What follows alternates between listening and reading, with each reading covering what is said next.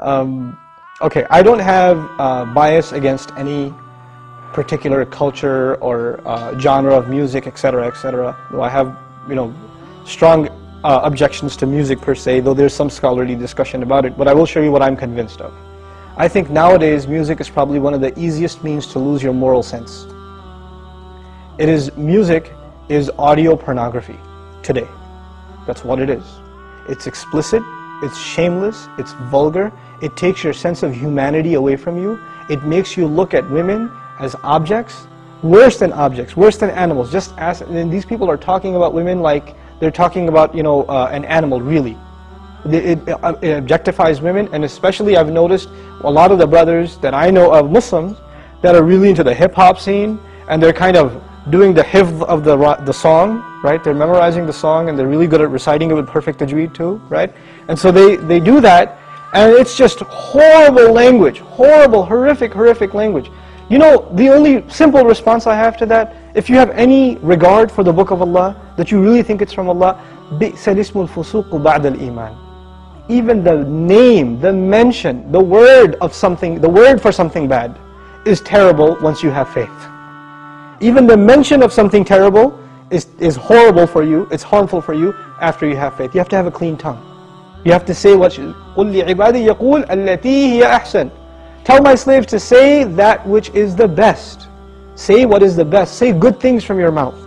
So this is the first thing. When you say horrible things and you say things that are in direct contradiction to the moral gauge Allah gifted us with, then obviously you're, you're, you're deviating from your natural fitrah, your predisposition to turn to Allah. And when you constantly you know, listen to garbage like that, then you get deviated. And you don't find pleasure except in disobedience to Allah. And that's the sign of a sick heart. So one has to distance themselves from this. This is the first step. And I, will tell you, what, this is my personal measure, this is not a fatwa, this, it's my personal analysis, you don't have to take it. But if a person finds listening to the Qur'an annoying, after they've been listening to hip-hop and this and that for a long time, and as soon as somebody puts the Qur'an on in the car, you know what they say? Oh man, turn that off, man, I, I, I don't want to, I just want to talk. And they immediately, they, they get a little annoyed when they hear the Qur'an. That actually means the shayateen have taken over and they're constantly making waswas out of this person. Because what do the shayateen hate the most?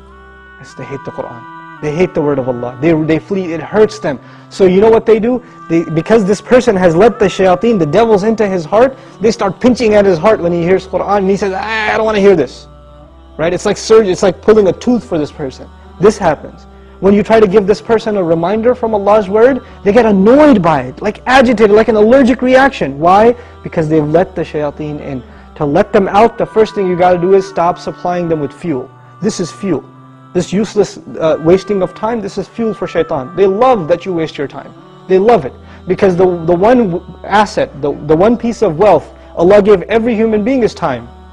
And what is music and TV and YouTube and Facebook and MySpace and like Twitter and whatever else? If you're spending hours and hours and hours on this stuff, what is it except destroying your time? It's taking that one asset away from you. Shaitan would love nothing more. May Allah subhanahu wa ta'ala give you the strength to get away from these temptations.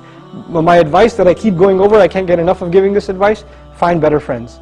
Find company that is not into these things and try to spend more time with them and inshallah you'll wean yourself off of these habits. Bi